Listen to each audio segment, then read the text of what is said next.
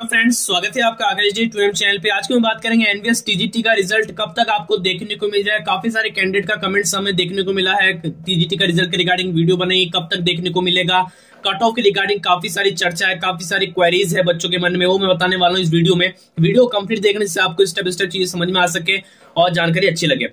तो सबसे पहले मैं आपको बता जो आपका जो एसएसटी का पेपर था ना, उसमें सबसे ज़्यादा डाउट ये था सोशल साइंस के पेपर में कि पेपर एक तो हार्ड हुआ था। ठीक है। यहाँ तक कि जो मैंने कट ऑफ़ बताया था, मैंने कट ऑफ़ करनी बताया सत्तर के अराउंड मैंने कट ऑफ़ बताया था यूआर का। तो काफ़ी बच्चों ने बोला कि सत्तर के अराउंड नहीं जा सकता क्योंकि पेपर का लेवल ही उस हिसाब से था पेपर का लेवल हार्ड था यहाँ पे। अगर मैं आपको यहाँ पे वैकेंसी के बारे में अपडेट दिखाऊँ तो आप वैकेंसी में अपडेट देख रहे हैं यहाँ पे।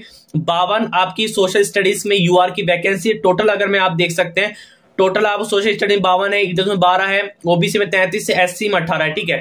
मतलब सोशल स्टडी में आपकी वैकेंसी भी ठीक है यूआर में कहेंगे इंग्लिश में भी अच्छी वैकेंसी हिंदी में भी अच्छी वैकेंसी मैथ्स में भी अच्छी वैकेंसीज है तो वैकेंसी आपको थोड़ा बहुत ठीक ठाक देखने को मिल रहा है। जो आप वैकेंसी देख रहे हैं ना, इन वैकेंसी का तीन से चार गुना कैंडिडेट को बुलाया जाता है यहाँ पे इंटरव्यू के लिए। जी हाँ।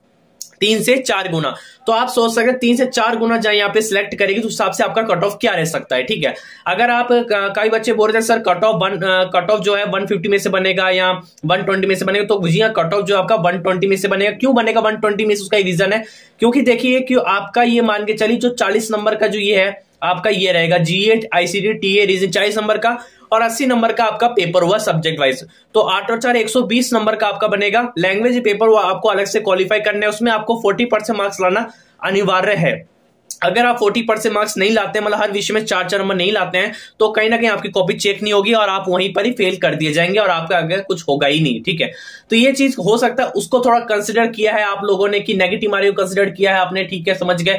तो हिसाब से जो आपका कट ऑफ़ है ना, अगर मैं बताऊँ यहाँ पे, अगर आप जनरल कैटेगरी में आते हैं, अगर मैथ्स कैटेगरी में, एक एक कट ऑफ़ बताता हूँ, अगर मैथ्स में अगर आप आते हैं तो मैथ्स की अगर बात करूँ मैं तो पेपर का लेवल अच्छा था, बच्चों के अस्सी में से पैंसठ, छियासठ, सड़सठ नंबर आ रहे थे। जी हाँ पैंसठ, छियासठ नंबर आ रहे थे। और जहाँ मैं अगर इसकी बात करूँ, मैं G GA IC T A reasoning यहाँ पे मैं अधिकतर मैंने जो कैंडिडेट है, उनकी अगर मैं बात करूँ, चालीस में से बीस अठारह, बीस, अठारह के लगभग ही इन चालीस में से देखने को मिले। बीस, अठारह के समथिंग ही देखने को मिले। बहुत ही कम कैंडिडेट होंगे जिसके बाईस, पच्चीस नंबर यहाँ पे देखने को मिले उन सब्जेक्टों में ठीक है? तो अगर मैथ्स की अगर कट ऑफ़ की बात करो मैं, यहाँ पे यूआर का 100 में से आपका जो यूआर का कट ऑफ़ है, कहीं ना कहीं अगर आपके 83 तक नंबर अगर आ जाते हैं यूआर कैटेगरी मैथ्स में तो कहीं ना कहीं आप यहाँ पे डेफिनेटली आप इंटरव्यू की तैयारी कर सकते हैं। इसके रिगार्डिंग आप प्लस टू प्लस माइनस कर सकते हैं अपने according plus two plus minus ज़रूर कीजिएगा। अगर आप कितने अराउंड है प्लीज़ आप तैयारी कर सकते हैं। अगर मैं हिंदी की बात हिंदी का पेपर 120 में से बताता हूँ मैं आपको, हिंदी का पेपर अच्छा गया था 80 में से बच्चों के 70 नंबर भी आ रहे थे, अड़सठ नंबर भी आ रहे थे, ठीक है? हिंदी पेपर काफ़ी अच्छा गया था। उसकी अगर बात करूँ तो एट्टी के अराउंड आपका यहाँ पे कट ऑफ़ रह सकता है हिंदी का। जी हाँ हिंदी का एट्टी भी रह सकता है।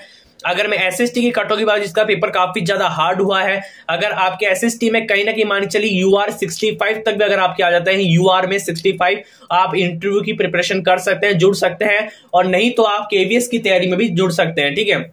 एटलीस्ट सिक्सटी परसेंट मार्क्स क्योंकि यार वैकेंसी उस हिसाब से वैकेंसीज है, तीन गुना, चार गुना कैंडिडेट को बुलाती है तो कहीं ना कहीं माइंस पेपर आपका हार्ड हुआ है तो कहीं ना कहीं कट ऑफ़ आपका सिक्सटी फाइव इसमें आप प्लस टू प्लस माइनस अपने अकॉर्डिंग कर सकते हैं, ठीक है? मतलब इसके अराउंड ही अगर आपके आते हैं मार्क्स तो कहीं ना कहीं आप बिल्कुल इंटरव्यू की तैयारी की प्रिपरेशन ज़रूर कीजिए, ठीक है?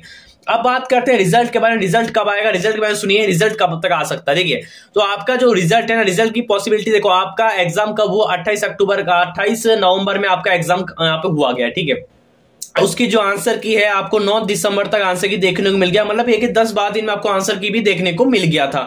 तो इसका जो आपका रिज़ल्ट है, वो पॉसिबिलिटी यही कि जनवरी का जो आपका सेकंड वीक है, जी हाँ जनवरी का सेकंड वीक तक आपका रिज़ल्ट देखने को मिल जाएगा। इसका अगर मैं डेट की अगर बात करूँ एक्सपेक्टेड आपका है, बारह से लेकर आपका यहाँ पे पंद्रह दिसंबर, पंद्रह जनवरी तक आपको रिज़ल्ट कहीं ना कहीं होपफुली पॉसिबिलिटी है बारह से पंद्रह तक आपको रिज़ल्ट देखने को मिल जाए। जैसी कोई एनबीएस की तरह से कोई अपडेट आता है रिज़ल्ट रिगार्डिंग मैं आपको सूचित करने वाला हूँ। चैनल को सब्सक्राइब कीजिए। इस चैनल पर आप स्कॉलरशिप वीडियो देख सकते हैं गवर्नमेंट से अपडेट देख सकते हैं कट ऑफ़ से वीडियो देख सकते हैं। हर प्रकार की न्यूज़ अपडेट आपको इस चैनल के थ्रू मिल जाती है।